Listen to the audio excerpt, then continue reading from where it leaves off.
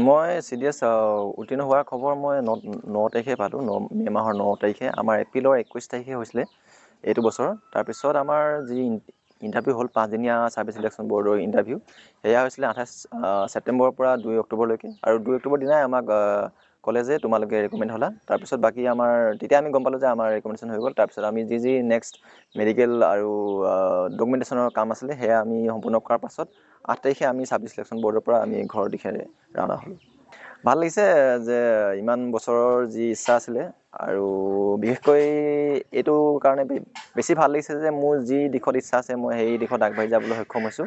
আৰু সেইকাৰণে মই ভিতৰৰ পৰা সুখী। প্ৰিপেৰেশ্যন মই সম্পূৰ্ণ মই নিজাববীয়াক মানে নিজেই। আৰু বিশেষকৈ যদি হেৰিয়ত ক'ব যাওঁ ডিটেইলছত ক'ব যাওঁ তেতিয়া ক'ম যে মই ইউটিউব বা বিভিন্ন ধৰণৰ ৱেবছাইট আৰু কিছুমান ষ্টেণ্ডাৰ্ড বুকছ এইবিলাকে মোক মই এইবিলাকৰ পৰাই মই সহায় লৈছিলোঁ আগবাঢ়ি যোৱাত।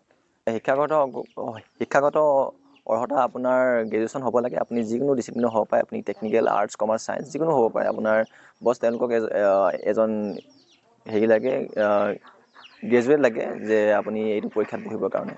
মই বৰ্ডাৰ চিনেমাখনৰ প্ৰতি মোৰ এটা বিশেষ ভালপোৱা আছে। মই বৰ্ডাৰ চিনেমাখন চাই মই প্ৰথম গম পাইছিলোঁ আৰু মোৰ দেউতাৰ কথাৰ পৰাও মই গম পাইছিলোঁ।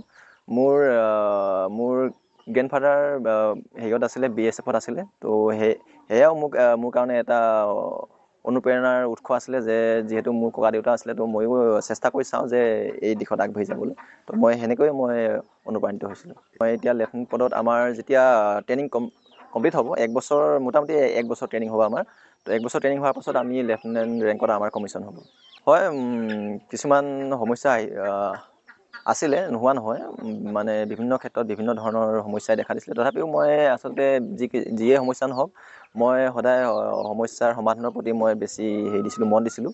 আৰু আৰু সেইটো মোৰ মানসিকতা থকাৰ কাৰণে মই হয় আমাৰ গাঁওখনো মানে ইমান আগবঢ়া নহয় বা মূল জেগাৰ পৰা বহুত আঁতৰত। তথাপিও মই নিজৰ নিজাববীয়াকৈ যিখিনি মানে চেষ্টা মানে হেৰি কৰিব পাৰোঁ চেষ্টা কৰি মই আগবাঢ়ি গৈছিলোঁ আৰু সেনেকৈয়ে মই এতিয়ালৈকে যিমানখিনি মানে কৰিব পাৰ কৰিব পাৰিলোঁ মোৰ সেই মানসিকতা মানসিকতাকে মই মোৰ মূল মূল অস্ত্ৰ বুলি কওঁ মই।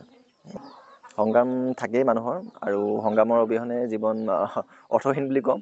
আৰু সংগ্ৰাম থাকিলেহে আচলতে জীৱনৰ মূল যি ৰোমাঞ্চকতা সেয়া আপুনি কি বুলি ক'ম মই এতিয়া এনজয় কৰিব পাৰে বুলি মই কওঁ আৰু।